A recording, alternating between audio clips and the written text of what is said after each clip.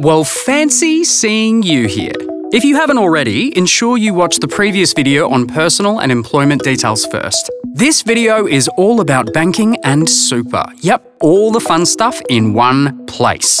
Before we jump back in again, you probably already know the drill. You'll need this, and that, and definitely your employee's tax file number.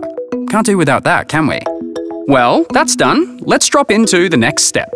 Right, Let's get into all those juicy little details we need to help you pay your staff, starting with the bank details of your employees. Okay, Super is up next. If you're still waiting on this information though, no worries, you can always come back to it later. Now we need their tax file number. You know, that number you never remember and have to go fishing around for? Yeah, that one. It should be on their TFN declaration form. Add all those details into the fields on screen. If you're still waiting on this form too, just circle back later.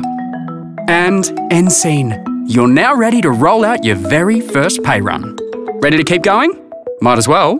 Click our video on running your first pay run now and get stuck in.